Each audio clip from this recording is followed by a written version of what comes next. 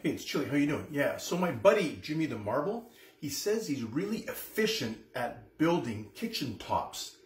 Yeah, he says he's counterproductive.